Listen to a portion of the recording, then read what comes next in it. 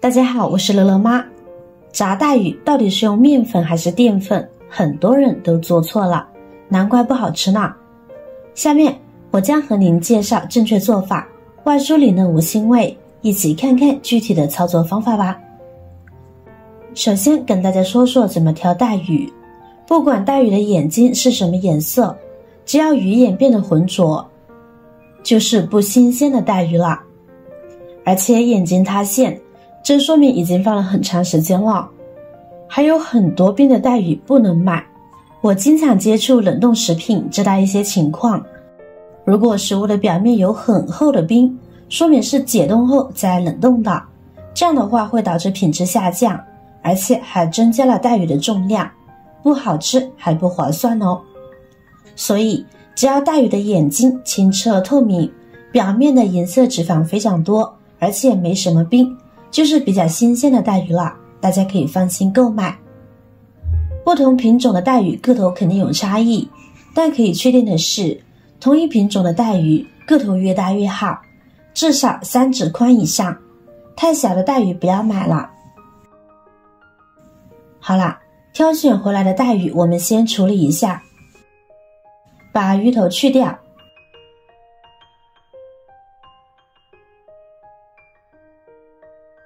鱼尾也去掉，这里没什么肉，口感也不好。跟着处理鱼鳍，从尾巴这里倒着往回撕上去，轻轻一拉扯呢，鱼鳍就掉下来了，很简单。然后我们用剪子呢把鱼腹剪开。有的朋友认为带鱼不用处理鱼腹，其实它和其他鱼类是一样的，有内脏、有黑膜、鱼骨血。看看很多脏脏的内脏，我们把鱼的内脏去除干净，这里边呢还有这层黑黑的东西，就是鱼骨血了，特别特别的腥，一定要处理干净。用流水来冲洗，把黑膜、鱼骨血一并冲洗掉。处理带鱼的时候，不要把外面的白膜刮掉，因为这层白色的膜呢也称为银脂，银脂中含有不饱和脂肪酸和卵磷脂。营养价值非常高，所以千万不要去掉哦。把带鱼鱼腹里面的内脏完全清洗干净，多换水漂洗两次，全部处理干净成这样白白净净的样子就可以了。现在捞出控一下水分备用。然后我们来到菜板上，用刀把带鱼切成五公分左右的小段。大小长短呢，根据个人喜好决定就好了。接下来，我们给每一块带鱼的都切两三下花刀，花刀不要切得太深，两边同样的操作，这样子待会腌制的时候呢，带鱼可以更好的入味，后期炸制出来呢，也就会更加的美味了。带鱼的营养价值呢，其实是非常丰富的。在众多方面都能够促进人体健康，让人的身体素质能够得到提高，因此才会有如此多的人喜欢。首先，经常吃带鱼呢，能够补充钙；其次，还有铁、碘等微量元素，所以平时还是建议大家不时的买回来给家人品品。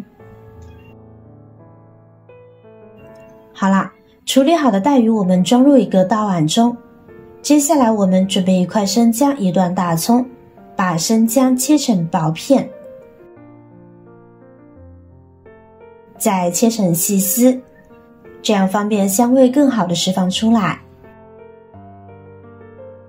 小葱切成小段。好了，将其放入带鱼碗中，跟着往里边呢加入少许的花椒，适量的食盐。喜欢吃胡椒粉的，也可以加入少许，再加入适量的十三香调味。现在下手抓拌均匀，使其入味。去腥食材呢，加入葱姜就够了。至于料酒什么的，最好不要放，否则搭配带鱼呢，会有一股怪味。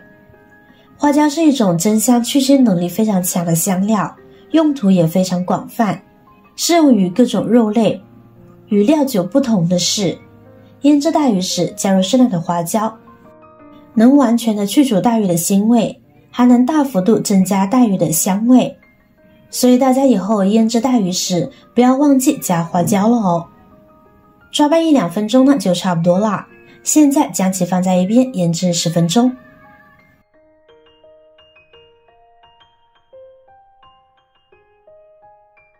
腌制好的带鱼，我们撇开葱姜不要，把带鱼拿出来，另外装入大碗中。很多人纠结炸带鱼用面粉还是淀粉，其实正确的做法是一勺面粉一勺淀粉，淀粉和面粉的比例是一比一，然后下手将其抓拌抓拌。其实用淀粉炸出来更酥脆，而加入少许的面粉则更酥香。这样炸出来的带鱼呢，才会更加的酥酥脆脆的。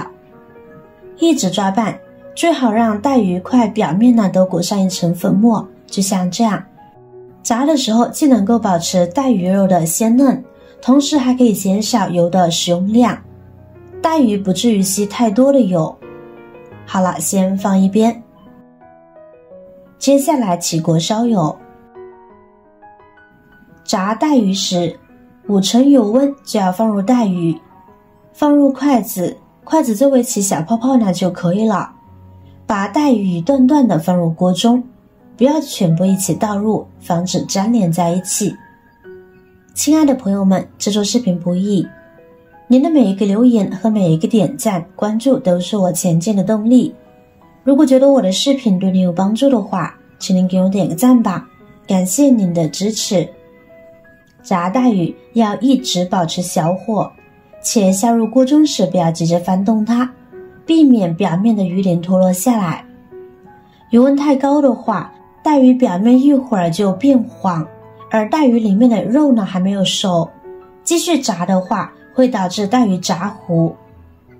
低五温中火炸带鱼是最好的，鱼肉很容易炸透、炸金黄，这样炸出来的带鱼外酥里嫩，久放不皮。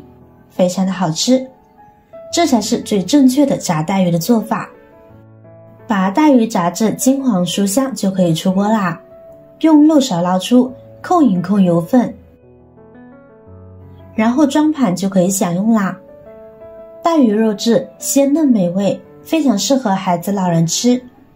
炸带鱼想要做的鲜嫩酥脆，一定要掌握好以上小技巧哦。这样炸好的带鱼。外皮呢就会形成酥脆的外壳，吃起来外脆里嫩，鱼肉也非常的鲜美。这样炸出来的带鱼也不会吸收更多的油脂。如果只用面粉炸带鱼，外壳呢就会非常的厚，带鱼放凉后呢就会软塌，炸制过程中还会吸好多油，吃起来口感也不好。您记住了吗？学会以上技巧炸带鱼，口感不说惊艳。但也绝对不会让您失望的。如果您看完有食欲，或者您有更多的想法和建议，欢迎在下方评论留言哦。点击我的视频头像，还可以观看更多的美食和生活技巧。别忘了关注我哟！感谢您的支持，我是乐乐妈，我们下期再见啦。